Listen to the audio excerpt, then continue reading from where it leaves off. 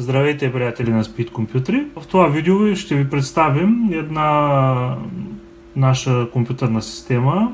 Това е сравнително малък компактен компютър, изпълнен в Fortron кутия, Speed Game Slimline Hammer, който е базиран на Ryzen 7 8 ядрен процесор 3700X. Той е 8 ядрен с 16 нишки и видеокарта RTX 2060 6 ГБ.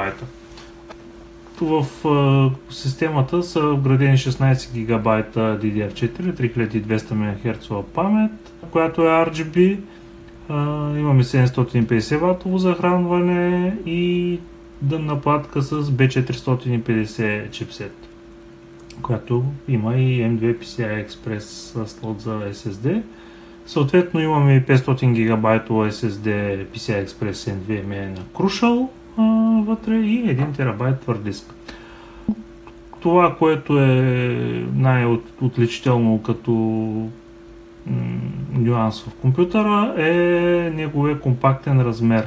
Котията е с размери 42 по 21 по 39 см но въпреки това в него може да се събере почти всякакъв хардвер, като дънната платка, разбира се, трябва да е MicroATX.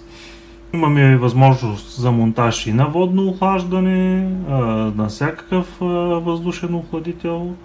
Котията е Fortron CST 311, много компактна, красива котия.